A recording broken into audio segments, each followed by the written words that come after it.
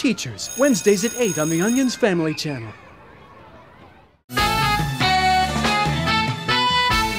it cute? Oh, that is so sweet.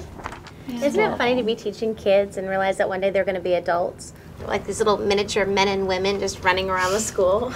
It's amazing. I always look at my students and think, one of you is going to be a doctor, one of you might be president. Oh, totally. Do you ever look at a kid and know they're going to be hot?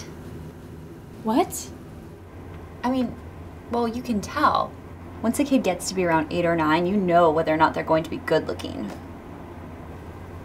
It's not creepy. It's not like I'm attracted to a kid.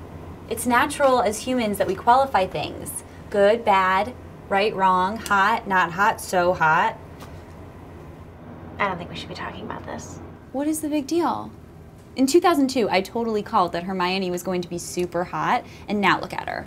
She's in a lot of magazines. Yeah, she's an adult now. And you said those things when she was a kid.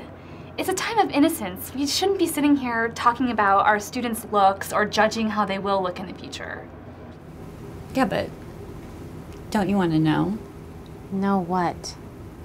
who you should be nice to now because they're going to be hot later?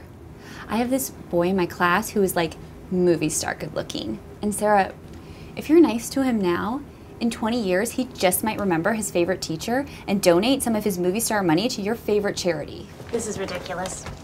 Who is it? Sarah! I'm not telling. You guys are being real judgy. Please. For the snow leopards. No, I don't want to talk about it anymore.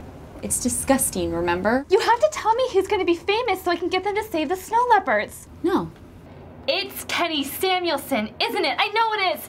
Kenny Samuelson is the hottest kid in school. Hi, Kenny.